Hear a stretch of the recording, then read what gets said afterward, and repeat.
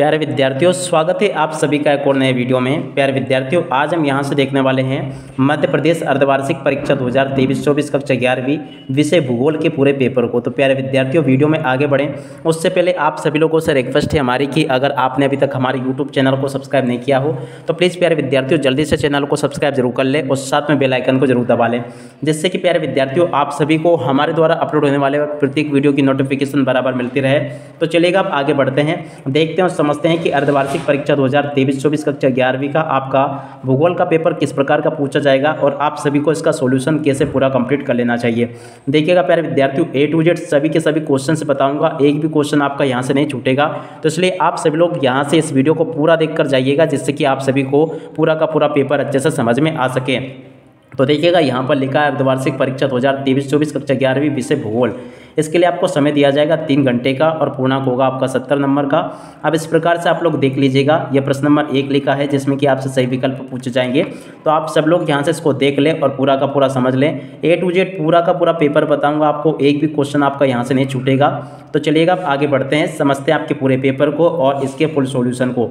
तो देखिएगा, प्रश्न नंबर एक लिखा है, सही विकल्प चुनिए। सही विकल्प किस प्रकार से आपको चुनने हैं? पहला क्वेश्चन पढ़ते हैं। निम्नलिखित में से किस विद्वान ने भूगोल शब्द का प्रयोग किया? तो देखिएगा, इसका उत्तर क्या आ जाएगा प्यारे विद्यार्थियों? एरेस्टो स्टेनीज इसका उत्तर होगा। उसके बाद में दूसरा प्रश्न पढ़ते हैं। निम्नलिखित में से किस देश की सीमा भारत के साथ सबसे लंबी स्थलीय सीमा है? तो देखिएगा, प्यारे विद्यार्थियों, इसका उत्तर आ जाएगा बांग्लादेश। बांग्लादेश के साथ में, प्यारे विद्यार्थियों, भारत की सबसे ज़्यादा लंबी स्थलीय सीमा है। तो इस प्रकार से आपको इसका उत्तर ये नोट कर लेना है। अब इसके बाद में प्यारे विद्यार्थियों, हम आगे बढ़ते हैं। तो देखिएगा प्यारे विद्यार्थियों, अगर आपने अपने सभी विषय के पेपर के वीडियो नहीं देखे हैं तो डिस्क्रिप्शन बॉक्स में मैंने लिंक दे रखी है। उसके ऊपर क्लिक करके आप लोग समस्त विषय के पेपरों के वीडियो को ज़रूर देख लें। तो यहाँ से आप लोग इसे पूरा का पूरा देखता चले। और इसके बाद में देखिएगा, इसका उत्तर मैंने आपको ये बता दिया था बांग्लादेश। उसके बाद में तीसरे का उत्तर क्या होगा? तो इसका उत्तर आ जाएगा ज्वालामुखी। निम्नलिखित में से कौन भूगर्भ की जानकारी प्रत्यक्ष का साधन है? तो ज्वालामुखी इसका प्रत्यक्ष साधन है। उसके बाद में चौथा प्रश्न पढ़ते हैं। निम्नलिखित में से कितनी ऊंचाई पर ऑक्सीजन की मात्रा नगण्य हो जाती है? तो देखिएगा इसका उत्तर प्यार विद्यार्थियों, आपका आ जाएगा 120 किलोमीटर पर नगण्य हो जाती है। उसके बाद में अगला प्रश्न पढ़ते हैं, क्या लिखा है? निम्नलिखित में से कौन सी नदी भ्रष्ट घाटी में बहती है? तो देखिएगा, इसका उत्तर आ जाएगा नर्मदा। इसका उत्तर क्या हो जाएगा? नर्मदा। उसके बाद में अगला प्रश्न देखते हैं, क्या लिखा है? रिक्त स्थानों की पूर्ति कीजिए। रिक्त स्थानों की पूर्ति आपसे प्रश्न नंबर दो में पूछी जाएगी तो आप सभी लोग यहाँ से प्रश्न नंबर दो को देख लेंगे। तो दो का पहला प्रश्न पढ़ते हैं, क्या लिखा है? पृथ्वी पर जीवन लगभग वर्ष पहले आरंभ हुआ। तो देखिएगा, चार अरब वर्ष पहले आरंभ हुआ था। उसके बाद में दूसरा प्रश्न विषय कालिक संश्लेषण करता है। तो देखिएगा, भूगोल विशेष कालिक संश्लेषण करता है। तो इस जगह पर आपको क्या लिखना था? भूगोल। उसके बाद में तीसरा प्रश्न पढ़ते हैं, सेल प्राथमिक सेल है। कौन सा सेल? आग्ने सेल प्राथमिक सेल है। तो इस जगह पर आपको आग्ने भर लेना था। चौथा प्रश्न, चंदन के वन तरह के उदाहरण हैं। तो देखिएगा, उष्ण कटिबंधी पर्णपाती वनों के उदाहरण है, चंदन के वन। उसके बाद में पांचवा प्रश्न, भूकंपी तरंगे ज़्यादा विनाशकारी होती है। तो देखिएगा, एल तरंगे ज़्यादा विनाशकारी होती है। उसके बाद में छठा प्रश्न, नदी भारत की सबसे लंबी नदी है। तो देखिएगा गंगा नदी भारत की सबसे लंबी नदी है। तो ऐसे आप सभी लोगों को इनका सोल्यूशन तैयार कर लेना, जैसा कि मैंने आपको बताया है। अब इसके बाद में हम आगे बढ़ते हैं, आगे के प्रश्नों को भी देखते हैं और उसके फुल सोल्यूशन को देखते हैं, ताकि प्यारे विद्यार्थियों, आप सभी को जो बाकी के क्वेश्चन हैं, उन सभी के उत्तर भी आपको अच्छे से समझ में आ सके। तो देखिएगा प्यारे विद्यार्थियों, यहाँ से आप लोग देख सकते हो, इस प्रकार से क्वेश्चन पेपर में आपसे प्रश्न पूछे जाएँगे। अब आगे यहाँ से आप लोग देख लीजिएगा क्वेश्चन नंबर तीन में आपको जोड़ी का मिलान दिया गया है। जोड़ी का मिलान कैसे आपको पूरा कंप्लीट करना है, चलिएगा, समझते हैं। तो पहला प्रश्न, पंचनद पंचनद की जोड़ी का मिलान चिनाव से कर लेना है। बंगाल का शोक कौन सी नदी है? दामोदर नदी, डोडा, बेटी, चोटी तो देखिएगा, नीलगिरी से कर लेना है।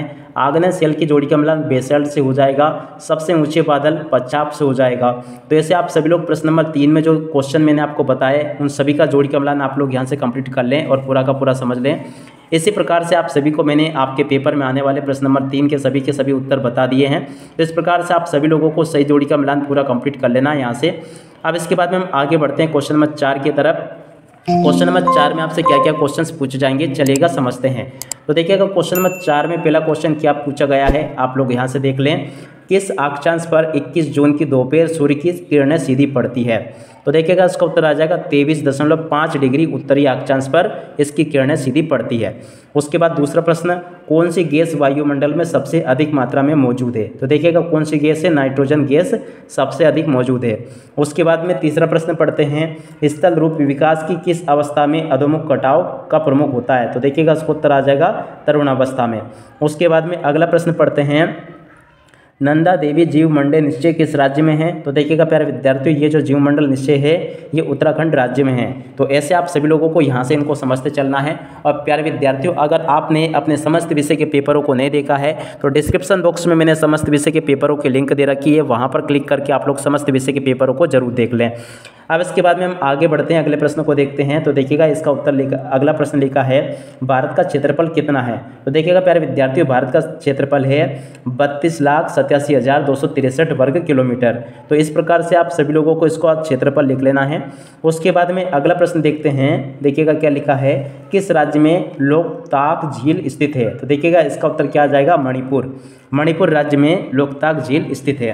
तो ऐसे आप सभी लोगों को यहाँ पर जो प्रश्न बताए, मैंने आपको प्रश्न नंबर चार, इन सभी के उत्तरों को कंप्लीट कर लेना है जैसा कि मैंने आप सभी को बताया है। तो देखिएगा, प्यारे विद्यार्थियों, अभी तक हम प्रश्न नंबर एक से लेकर चार तक का पूरा पेपर आपका देख चुके हैं। अब इसके बाद में हम आगे बढ़ते हैं। आपके आगे के जो प्रश्न हैं, उन सभी को देखते हैं और उनके सोल्यूशन को भी देखते हैं। तो देखिएगा, प्यारे विद्यार्थियों, प्रश्न नंबर पाँच को पढ़ते हैं। सत्य, असत्य लिखिए। तो देखिएगा, सत्य, असत्य आपको किस प्रकार से लिखने हैं? चलिएगा, समझते हैं। तो देखिएगा, पहला प्रश्न, मानव के लिए वायुमंडल का सबसे महत्वपूर्ण घटक जलवाष्प है। तो देखिएगा, ये बिल्कुल असत्य हो जाएगा। अगला प्रश्न पढ़ते हैं, क्या लिखा है? देख सकते हो, यहाँ पर लिखा गया है, तीन जनवरी को पृथ्वी सूर्य के सबसे निकट होती है। तो देखिएगा, ये भी आपका क्या हो जाएगा? सत्य हो जाएगा। उसके बाद में अगला प्रश्न, घाघरा नदी माप चाचुंगो हिमनद से निकलती है। तो देखिएगा, ये भी आपका सत्य हो जाएगा। उसके बाद अगला प्रश्न, वन नीति के अनुसार वर्तमान में चवालीस प्रतिशत क्षेत्र वनों के अधीन होना चाहिए, ये भी आपका असत्य हो जाएगा। कर्क रेखा भारत को दो बराबर भागों में बांटती है। तो देखिएगा, प्यारे विद्यार्थियों, ये भी आपका क्या हो जाएगा? सत्य हो जाएगा। अब उसके बाद में छठे प्रश्न को देखते हैं, क्या लिखा है? स्वर्ण और चांदी आधात्विक खनिज के उदाहरण है। तो देखिएगा, ये भी आपका क्या होगा? असत्य होगा। अब इसके बाद में बाकी के जो क्वेश्चन पूछे गए हैं, प्यार विद्यार्थियों, आपसे जैसे कि क्वेश्चन नंबर छः लिखा है, सात लिखा, आठ लिखा है इन सभी क्वेश्चन को आप लोग देखते चलेंगे। प्रश्न नंबर छः को देख लें, जिसमें कि लिखा है, भारत की लंबी तटरेखा के क्या प्रभाव है? पश्चिम तटीय मैदान का कोई डेल्टा क्यों नहीं है? साइबेरिया के मैदान में वार्षिक तापांतर सर्वाधिक होता है क्यों? वायुमंडल से आप क्या समझते हैं? इस प्रकार से आप सभी लोग प्रश्न नंबर छः से लेके लास्ट तक के इन सभी प्रश्नों को देख लेंगे और सभी के उत्तरों को भी समझ लेंगे। आप सभी लोग इस प्रकार से इनको पूरा का पूरा कंप्लीट कर लें। ए टू जेड जिस प्रकार से क्वेश्चन मैं आपको बता रहा हूँ ना, इन सभी का सोल्यूशन आप लोग कंप्लीट कर लेंगे। आगे प्रश्न नंबर बारह पूछा गया है, तेरह लिखा है, चौदह लिखा है। क्वेश्चन नंबर पंद्रह को देख लें आप सभी लोग, सोलह को देख लें, सत्रह को देख लें, अठारह को देख लें, उन्नीस को देख लें और बीस को देख लें। तो इसी प्रकार के क्वेश्चन प्यारे विद्यार्थियों आपसे पेपर में परीक्षा में पूछे जाएँगे। आप सभी को मैंने आपके पेपर में आने वाले सभी के सभी क्वेश्चंस बता दिए और उन सभी क्वेश्चंस के आंसर भी बता दिए हैं। आप सभी लोग यहाँ से इसको इस प्रकार से नोट कर लीजिएगा। तो देखिएगा प्यारे विद्यार्थियों, ये तो था आपका पूरा का पूरा भूगोल का पेपर जो कि मैं आपको पूरा बता चुका हूँ। अब इसी के साथ में प्यारे विद्यार्थियों, आपने अगर बाकी विषय के पेपरों को नहीं देखा तो डिस्क्रिप्शन बॉक्स में लिंक है, उसके ऊपर क्लिक करके आप लोग सभी विषय के पेपरों को ज़रूर देख लें। अब इसी के साथ में इस वीडियो को यहीं पर समाप्त करते हैं। नमस्कार, जय हिंद जय भारत।